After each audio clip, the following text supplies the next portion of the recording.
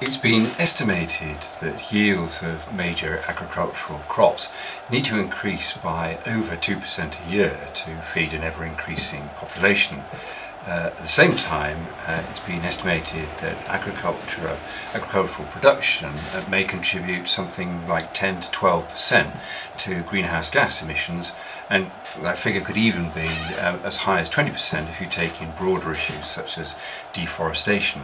So there's a huge need for, for new research um, to uh, make agricultural uh, production both more efficient but also more climate smart and that needs smart research to achieve that climate smart uh, outcome.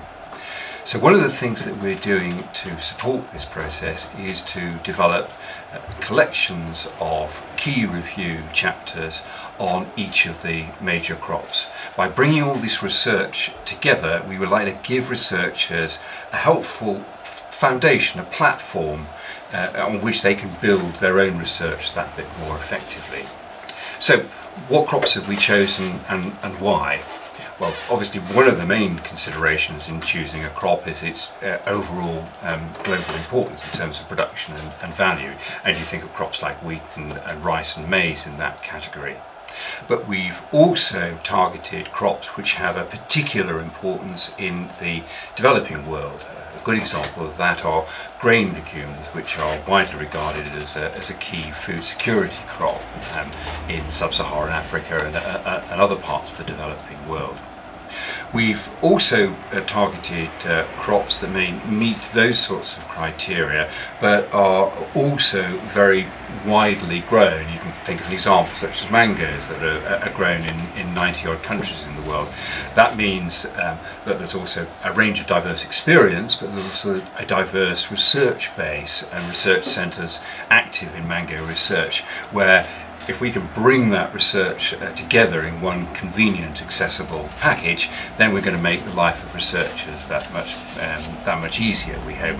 And of course, we've taken advice from key um, experts. Uh, a couple that I particularly like to mention are uh, Professor M.S. Swaminathan, who was the winner of the, the first World uh, Food Prize, and Professor Rudy Rabbinge, who's the Emeritus Professor of Sustainable Development at Wageningen University. So that's a little bit on um, some of the criteria for choosing um, particular crops. So what crops are there? Well, for example, we've um, got collections on a, a, range of the major cereal crops such as rice, wheat, maize. We're developing collections on uh, roots, tubers and pulses such as grain legumes or cassava, fruits and vegetables such as tomatoes, apples and mangoes, and other crops such as uh, soybean which have a, a range of important uses whether as a food as an animal feed, or increasingly, as, as people will be aware, uh, for use in biofuel. So with each collection, uh, what we're going to do is gather in these review articles by major experts in three main areas. One is breeding, the second is cultivation techniques, for example, uh, better soil, uh, water and nutrient management. And finally, because it's such a, a, an important area, on pests, diseases and weeds and how they're effectively managed.